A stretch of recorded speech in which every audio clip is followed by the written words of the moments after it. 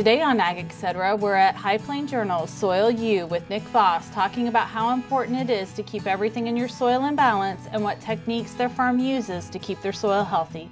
Then Derrell Peel from Oklahoma State talks about the future of feeding corn and alternative crops producers are using.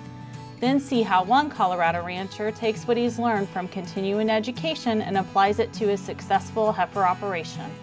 A new store is bringing healthy fresh food to the food desert areas of Kansas City, and Chip Redmond talks about inversion and how to avoid its negative effects when spraying herbicides. It's all coming up right now on Ag Etc. Closed captioning brought to you by Ag Promo Source. Together we grow. Learn more at agpromosource.com. Kansas Corn reminds you that E15 fuel is the right choice for every kind of driver. For the car enthusiast, E15 has higher octane. For the thrifty driver, E15 is priced lower than regular unleaded. For the nature lover, E15 provides cleaner air. For the shopper who buys local, E15 has more ethanol from our Kansas corn farms. Choose E15 for a higher octane, lower price, cleaner American fuel. Message from the Kansas Corn Commission. Learn more at kscorn.com. Welcome to the Western Kansas Wildlife Travel Center, right here in my hometown of Oakley, Kansas. We're the front door of Western Kansas, located on three main highways I 70, US 83, and US 40. And all those roads lead to history, beautiful scenery, and adventure, no matter which direction you go. We now have an IHOP that brand that you've trusted up and down the road in all your travels is staffed with local folks, real people, just like you and me, and we're waiting on you to join us. So for fun, adventure, fuel up, fuel your body, and let's have some fun.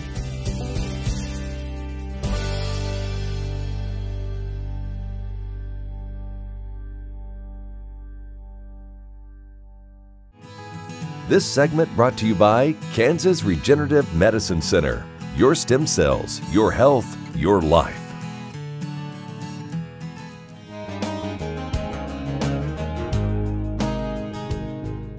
I think uh, fertilizer is one of the things that people need to look at.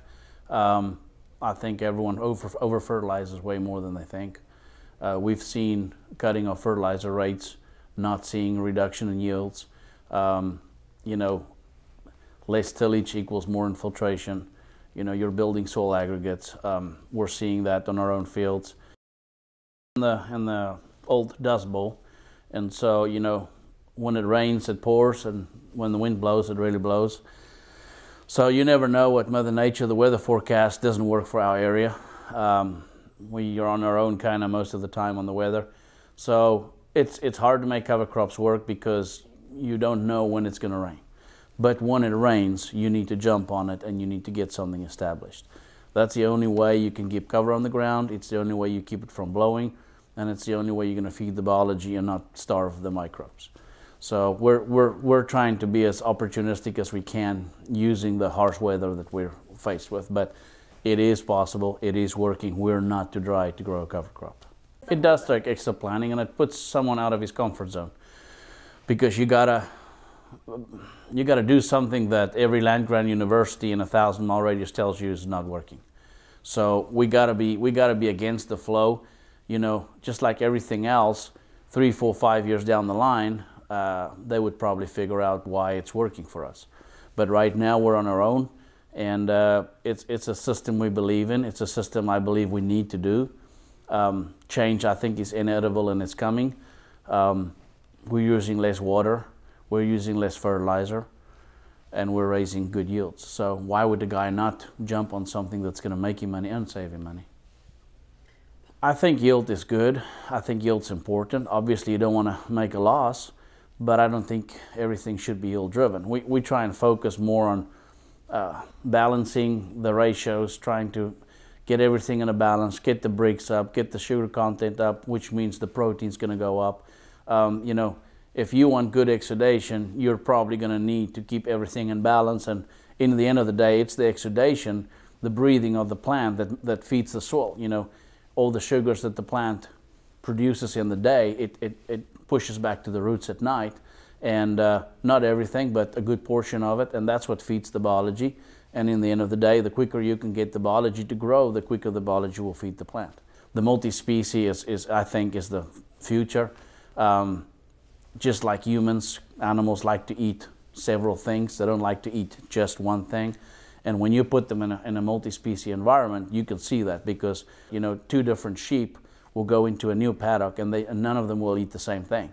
The one will eat radish first, the one will eat barley first, and so they all they all know what their body needs, and it's the same way. And when you give them that option, they're going to eat what they need. They're going to eat what's healthy. When you only eat when they only have that grass to eat, you know that's when you start having mineral problems. You start having all kind of gut problems because they're trying to uh, digest something that is hard to digest sometimes at the same time of the year. I think uh, sometimes the, the lab guys get carried away in numbers and they can't explain things. We're on the other side of the aisle where we see things happening, but we can't explain it. So, you know, getting, getting us together with some of the university people is nice because, you know, they got something else to work on that they don't necessarily get the feedback that they need sometimes. And I think there's enough people here that's already doing what we're doing but we can't necessarily explain everything we're doing. I mentioned in my talk about Dr. Foster making something, uh, you know, explaining to us why the daikon radish is working for us. And that we didn't know that four years ago, but we believed in it because we saw what it was, what it was doing for our wheat. Well, he explained to us why it's doing it. So it's nice when you can connect the two sides of the aisle and, and figuring something out.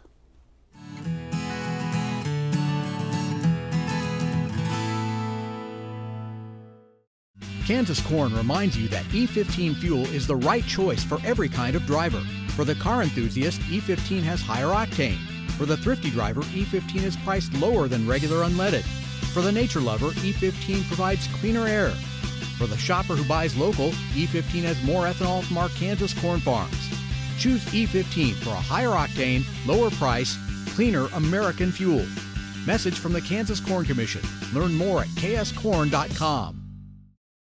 Valley Vet Supply is devoted to providing information and professional quality products at reasonable prices. Valley Vet Supply. To the Western Kansas Wildlife Travel Center, right here in my hometown of Oakley, Kansas. We're the front door of Western Kansas, located on three main highways I 70, US 83, and US 40. And all those roads lead to history, beautiful scenery, and adventure, no matter which direction you go. We now have an IHOP. That brand that you've trusted up and down the road in all your travels is staffed with local folks, real people, just like you and me, and we're waiting on you to join us. So for fun, adventure, fuel up, fuel your body, and let's have some fun.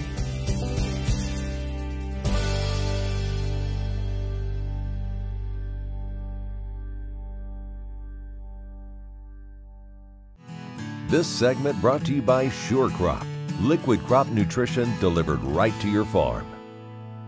The biggest thing that's changed in our uh, market situation, I think, right now, or at least the latest source of uncertainty, is this feed market situation. So we have a lot of questions this year. It's a very unusual year in terms of uh, we don't even know how many acres of corn we have, let alone what the yield's going to be. We know it's going to be smaller crop than we thought, you know, as little as three months ago. There's a lot of uncertainty swirling around now. That plays back into feeder cattle markets in particular. And so that's going to be an issue we have to watch going forward. In the southern plains, we, uh, I'm beginning to hear stories now that, that some of the feedlots are beginning to, to switch out from corn-based rations to either grain sorghum or wheat or some combination of those. Um, you know, we've had a fair amount of feed wheat sitting around for a couple of years in the southern plains. It's been hard to work through those supplies because corn has been really cheap. And so, uh, so we may finally be at a point where that's going to come in.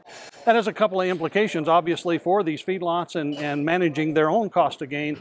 But I think it also plays into our expectations for the corn market in that there are these other feed supplies that have been kind of lurking in the shadows that'll come out and probably help offset some of the concerns we have about a smaller corn crop and higher cost of gain at the feedlot level. The main thing is that it is uncertain. Uh, it can have impacts. In fact, it is having impacts, but most of those are kind of what they are right now.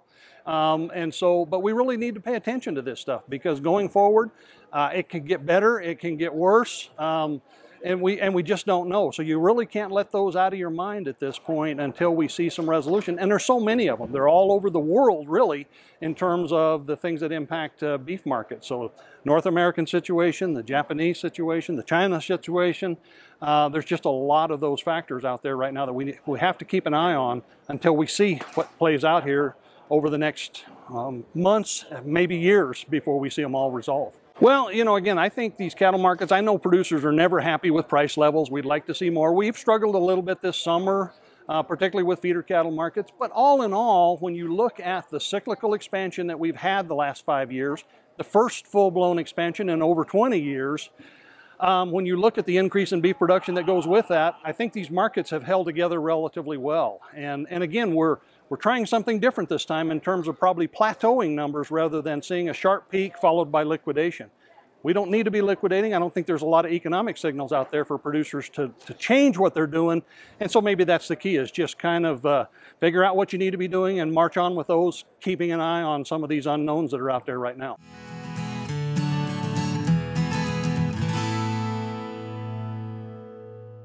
What if sustainability were synonymous with U.S. soy? If energy efficiency, water quality, and soil health help define U.S. soy's value, that future is here, the time is now. To meet end user demands, the Soybean Checkoff is committing to sustainability that's achievable, worthwhile, and enduring. A message from the Kansas Soybean Commission, the Soybean Checkoff, progress powered by Kansas farmers. Okay, looks like it's time for our tour. Welcome to the Fort Wallace Museum. Here at the museum, you're going to find some really interesting stuff like our replica stagecoach from the Butterfield Overland Dispatch. We've got facades from the fort buildings. Uh, we've got an 1870s flag. There's a plesiosaur that was discovered locally. We've got the Ray pump organ collection. We're a little bitty place with a great big story, and we'd love to have you. You don't have to be a farmer or rancher to become a Kansas Farm Bureau member. Anyone can join. As a member, you'll get discounts on things like hotels and entertainment, health and wellness services, cell phone plans, and more. You'll also strengthen the lives of your fellow Kansans and help build strong, prosperous communities through agriculture advocacy and education. Join us today. Visit kfb.org/join to learn more. This segment brought to you by Santa Fe Trail Meats in Overbrook. Let us help feed your family. Sometimes you have to get creative. For a Colorado rancher, that meant an investment in learning and then applying what he learned. With our continuing education of ranching for profit, we sit down at least quarterly and uh, figure out our gross margins, which really gives us the economic snapshot of, of uh, current enterprises and maybe future enterprises that we need to look at. We'll factor in a little bit of labor. Is it too much labor to have all cows? Or is it too much risk to have all breeding heifers? The two main economic players for the Nobles are their cow calf and heifer development enterprises. The latter branching out to serve other customers of their Angus bull supplier in Montana a lot of these heifers, when they come to us, so the, the ones for the basin customers will have had uh, GeneMax testing already performed on them, so they've already been through one sort while they were on the ranch. On the Colorado Plains, the development program begins with a customized backgrounding phase. If you want them turned out and roughed a little bit, we can do that. If you want them brought along in the grow yard, we can do that. And then we have a pretty good source of grass to graze in the summertime you know, we're not just a feedlot, so it's it's very real world conditions for all these cattle. Working with a nutritionist and heifer owners, Noble draws up breeding plans from target weights to clean up bulls, even ways to gather data on open heifers at a Nebraska feed yard. We go ahead and uh, go through this entire protocol when these heifers are developed, and we'll identify the cattle that are bred, and the rest of them will go to Chappell Feedlot where they get fed. All the carcass data is analyzed, and it really gives a, a producer a great snapshot of, of where their herd's at and where it's going. The program quickly gained momentum with Basin Angus Ranch customers. If you put all these cows together, between the eight or 10 cow herds, it's about 6,000, 6,500 head of cows. And it's, it's really fun to bring all these genetics from Wyoming, Montana, Nebraska, Colorado, and we get them all here and they're very similar. So these cattle can go out to, to very different environments and perform very similarly. So it's a lot of fun to bring them here and get to see it all culminate in one spot. That lets the heifer partners focus on managing their cows and developing their own mix of enterprises. They don't have to mess around and, and feed heifers on a daily basis. They don't have to take three or four days to AI in the spring. All they need to do is just run their cows. They'll actually have some other cattle, their contemporaries from different herds, to compare them against in Chappell Feedlot. And I think it really helps them to streamline their operations too.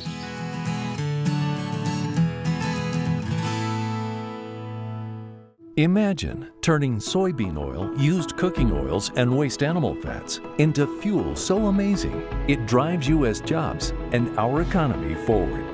Learn more about biodiesel at americasadvancedbiofuel.com.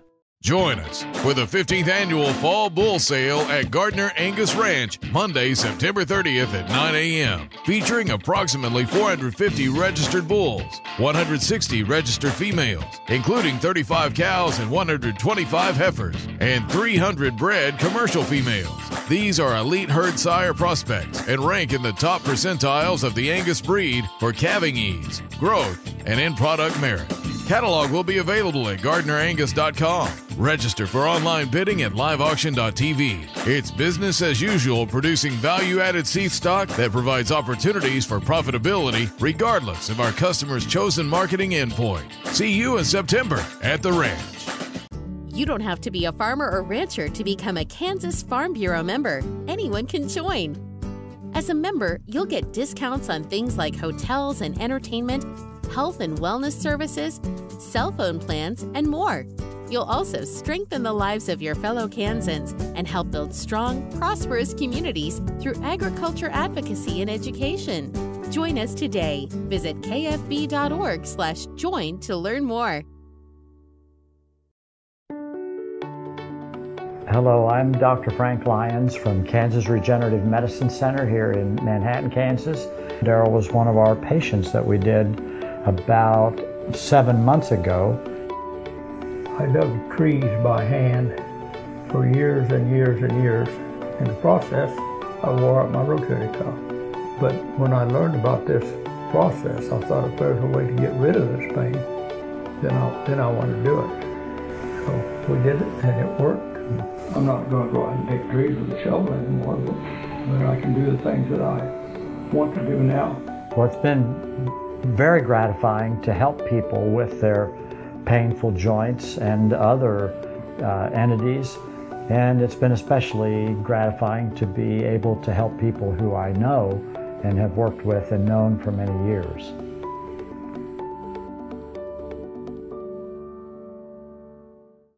This segment brought to you by Kansas Farm Bureau, the voice of agriculture. To join today or for more information, go to kfb.org or find us on Facebook and Twitter.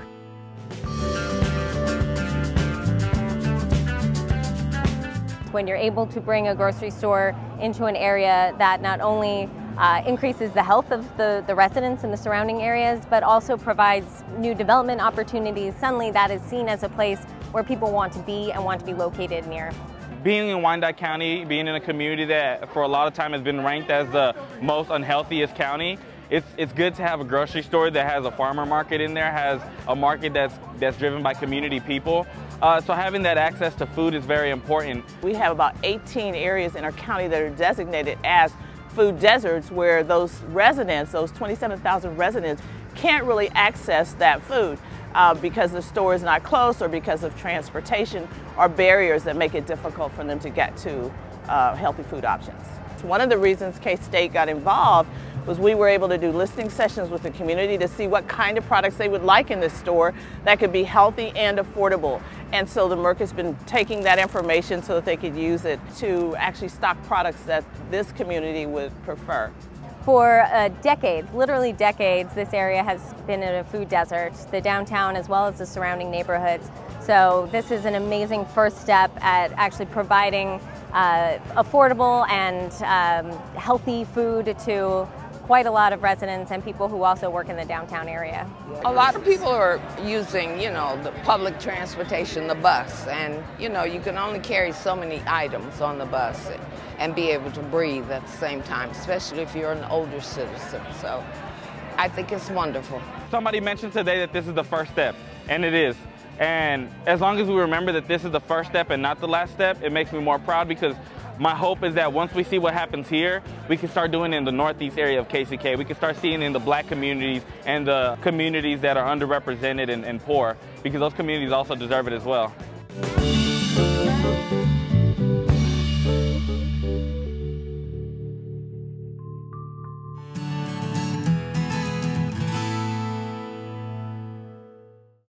Kansas Corn reminds you that E15 fuel is the right choice for every kind of driver. For the car enthusiast, E15 has higher octane.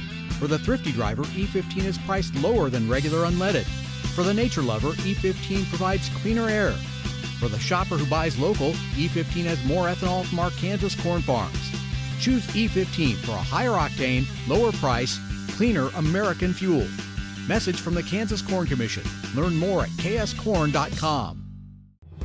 No matter where, no matter why, the Veterinary Health Center at Kansas State University is committed to providing quality patient care to animals and exceptional customer service to their owners.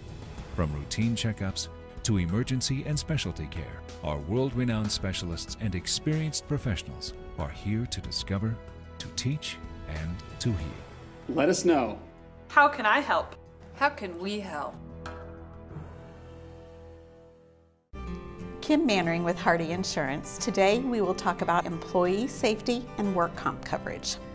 On your farm, do you ask your friends to come help? Are they considered employees or neighbors helping neighbors? Did you know that you can be held responsible just as if it's a work comp accident? Give me a call, we can discuss. 316 945 6733. SureCrop Fertilizers was started by my father, Don Sherman, and my mother, Shirley Sherman. Family business that started in the 80s.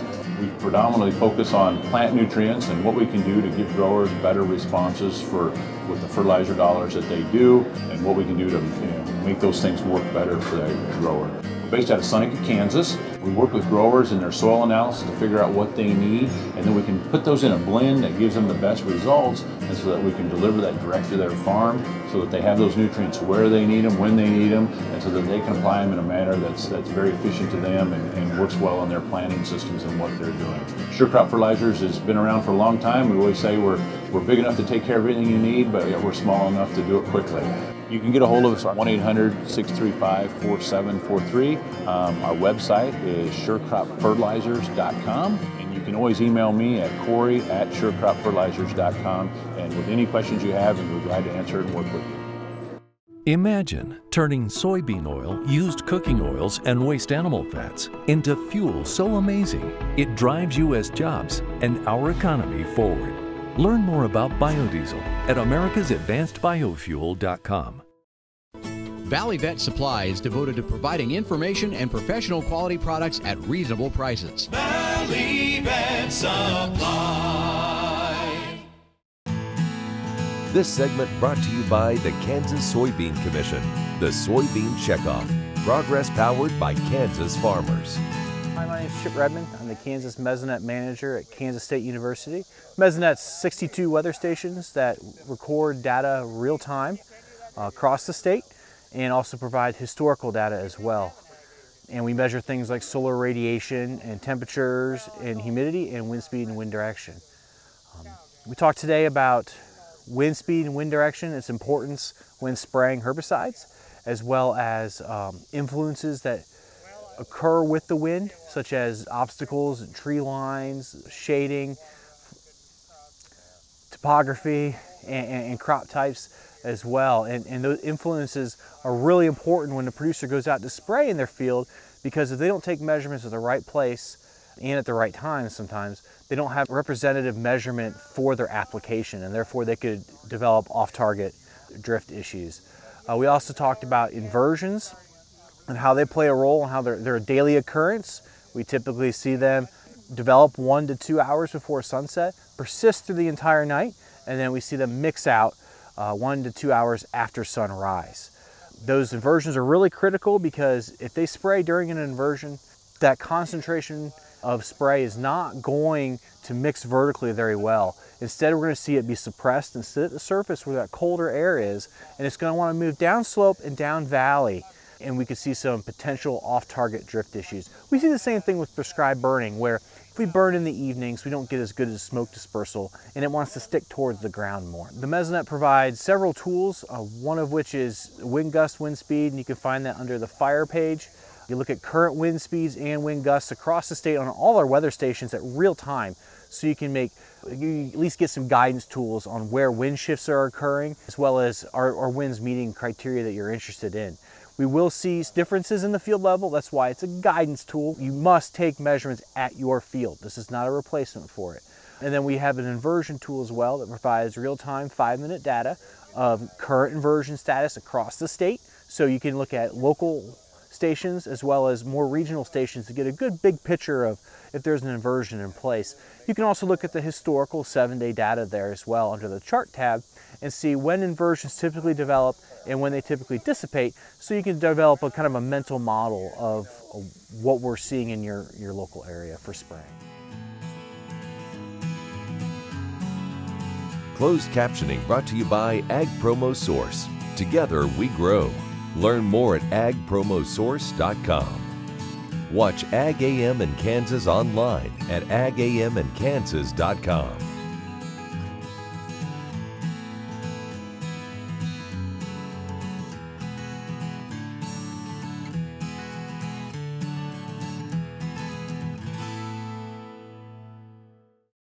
had this horse, it was a good horse, except when the wind was blowing above 30 mile an hour. Wind was blowing about 35, 40, and I saddled him up, rode him out to the end of the lane, and I thought, well, he's doing pretty good. And about six jumps later, I was laying on the ground and thinking, boy, my shoulder sure hurt. I kept waiting, and it, it didn't get better, and so I went to orthopedic surgeon, and that showed that I had torn rotator cuff. He said, well, we'll have to do surgery. I I farm and ranch by myself. This is not going to work out very well. I'd been sleeping in my recliner for about two and a half years because it hurt too much to sleep in bed on my side. I'd heard about Kansas Regenerative Medicine Center on the radio. Gotten down there at 8 o'clock in the morning and by 11.30 the procedure was all over. They just took some fat out of my side here and spun that down for about 45 minutes and then injected it in my shoulders and I was on my way. It's something you don't hear about, but I thought it was worth a try and I'm really pleased. It's, it's really worked out well for me. What if sustainability were synonymous with U.S. soy? If energy efficiency, water quality, and soil health help define U.S. soy's value, that future is here, the time is now. To meet end user demands, the Soybean Checkoff is committing to sustainability that's achievable, worthwhile, and enduring. A message from the Kansas Soybean Commission, the Soybean Checkoff, progress powered by Kansas farmers.